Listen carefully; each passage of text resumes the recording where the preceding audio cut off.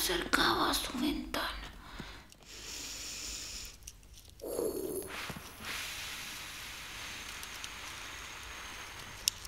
De lejos, porque me daba miedo que alguien escuchara o los perros.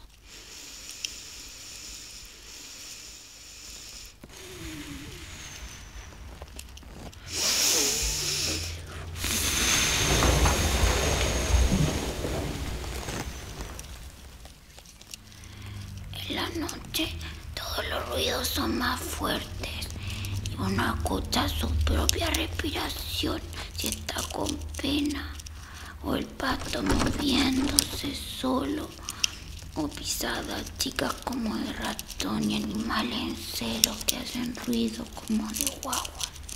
Y me fui al bosque y dije que estaba solo y apareció Lucía y me dijo, ¿cómo te llamas? Luis y ella me dijo Luis y me dijo que te quiero y quiero verte. Y vino y fuimos súper felices y después no, no, después no.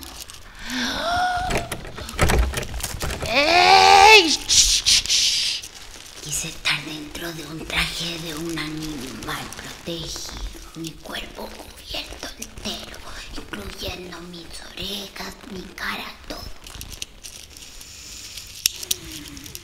Unos ojos reales de animal muerto que de alguna manera eran transparentes. Podría moverlos con solo pensar que los quería mover.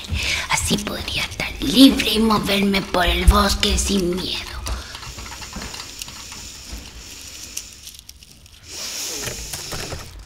Gritaría en una voz de animal. ¡Ey!